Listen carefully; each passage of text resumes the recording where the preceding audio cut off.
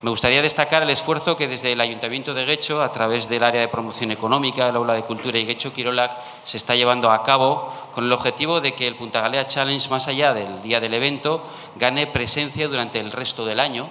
y nos ayude a promocionar el surf desde una perspectiva deportiva, cultural y también económica.